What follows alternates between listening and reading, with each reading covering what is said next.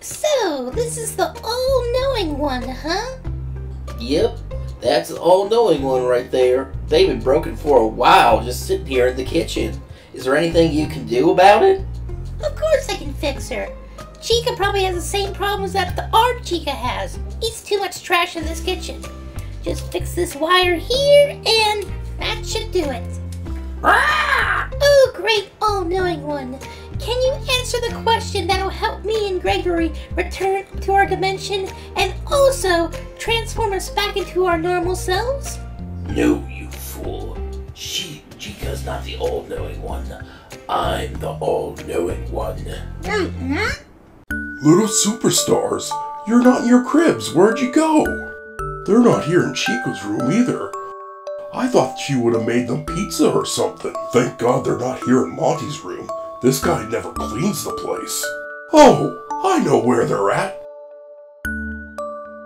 Oh no, they're not there either. I must have lost them forever. Calm down, Freddy, calm down. The little darlings are right here.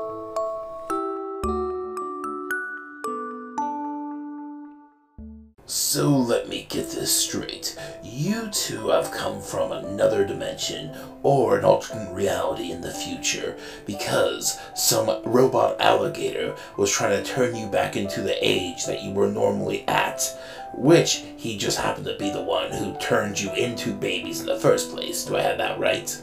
Uh, actually, yeah, that's what happened to us to a T. You're like the first person we ever talked to that get this right on the first try. Uh, it's not that hard to understand timey-wimey stuff. I'm a Doctor Who fan anyway. So, the answer to your question is right behind me. This button that says Showtime. Oh, wow, really?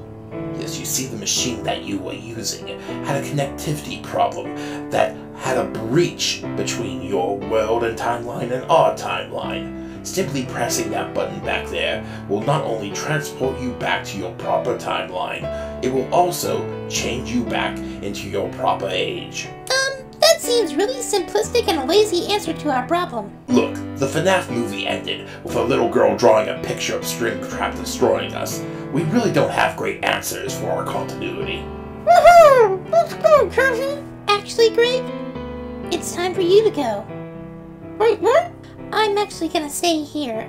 You see, the animatronics in the future in Security Breach, they have all the things they need to fix themselves. This place is so broken and run down. They can't even fix themselves as one of them gets broken. So, I'm gonna stay here and take care of them. Oh, I miss you, Cassie. I'll miss you too, Gregory. Also, do me a favor. Say goodbye to all the animatronics for me. And tell Roxanne, don't wait anymore. I will. Goodbye, my friend. I'm sorry, superstar. I failed you. I failed to turn you back to your normal age. I failed to protect you. I even failed to keep you in this dimension. I don't know where you are. I would give anything to see you again, Gregory. Hey, Freddy. Oh, hey, Gregory. Gregory!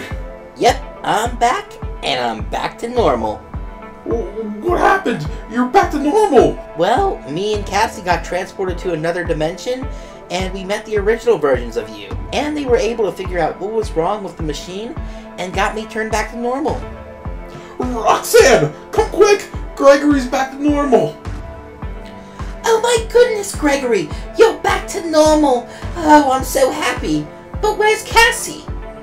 Well, Roxanne, Cassie decided to stay back where we got transported to. She felt she was still needed there. You know, if it was anyone else, I would say they're out of their mind.